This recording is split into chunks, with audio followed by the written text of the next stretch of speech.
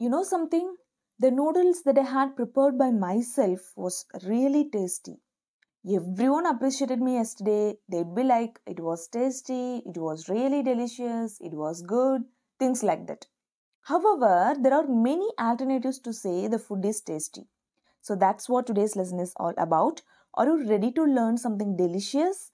Let's get started. Hello everyone, welcome back to this another informative lesson and I am sure you would enjoy this lesson as well. Let's start with the first one. The first replacement that I have for you on the list would be it's appetizing. Yes, let's think of an example. Probably you are in a restaurant with your friends to have something delicious food. Then you have ordered your favorite food and that is fried rice. After a while, the waiter has brought the food that you have just conveyed.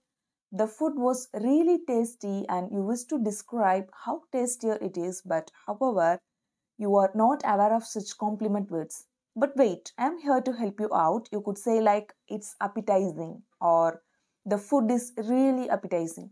Yes, that's the first alternative that I got for you. The very next time, if you feel something really tastier, then use this sentence. Say it up to me. It's appetizing. The next delicious expression that I got for you on the list is it's mouth watering. Say it up to me. It's mouth watering. Now, when could you use this expression?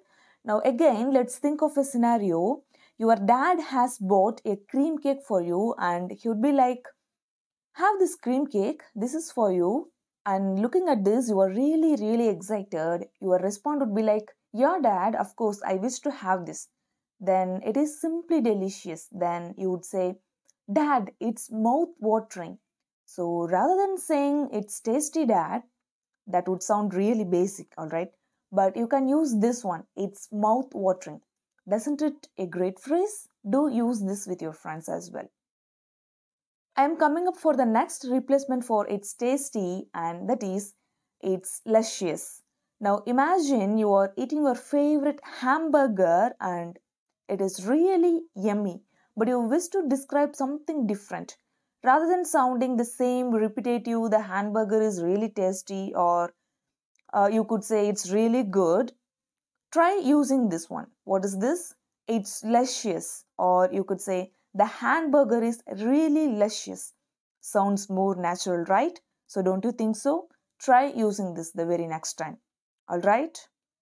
The next one that I got for you on the list is it's delectable. Possibly you were invited to a party, the food that you ate was really tasty. So instead of saying the food is tasty, you could say it's palatable. Sounds better, right? Don't you think so? Do use this. Let's move forward and here we have the next one. The next alternative that I got for you is it's finger licking good. Say it up to me. It's finger licking good.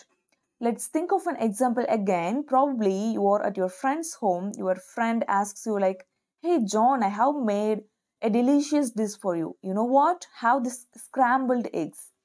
And what happens is you usually don't like the dish, by the way. But because of your friend's compulsion, you start eating this, and it was really, really tasty. You wish to compliment your friend, and you are like, Hey, Mark, this dish is finger licking good. I want some more. Or you could say it's finger licking good. So that's the fifth alternative that can be used to price someone's talent. All right. Here is the next one, and that is it's scrumptious. Now imagine that I have ordered my favorite cheeseburger on phone and I am waiting to taste it. I am extremely hungry by the way. I am craving to have the food. Eventually, it's been arrived and it was simply awesome. I would describe that tasty cheeseburger in such a way that the cheeseburger is scrumptious or it's really scrumptious. That means it's really, really tasty or delicious, by the way. So that's how you would end up describing the taste that you feel for. Sounds amazing, right? Do use this expression with your best friends as well. Here is the last one and the last one on the list of different ways to say it's tasty would be it's palatable. Repeat after me it's palatable. Possibly you bought a sandwich wrap for your sister, that's her favorite one by the way. She enjoyed the sandwich wrap that's been bought for her, and she was like, Bro, it's palatable. That means it's really delicious and tasty, and I love it absolutely. Sounds really nice, right? Don't you think so?